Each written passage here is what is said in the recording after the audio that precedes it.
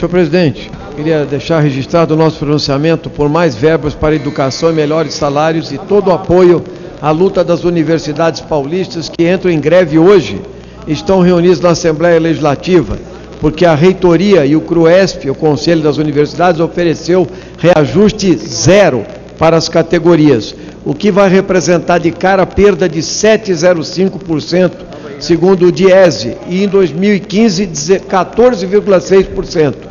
Por isso, a nota da ADUSP, Associação dos Docentes, mostra que há recursos em caixa no valor de 323 milhões, é, dada a reserva de ajuste, mais rendimentos financeiros que poderiam responder a essa questão do CRUESP.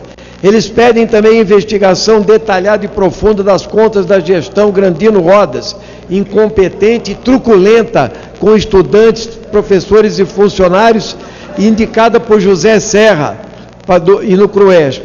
E nessa luta de 10% do PIB é que ela se enquadra às universidades paulistas. Obrigado, presidente.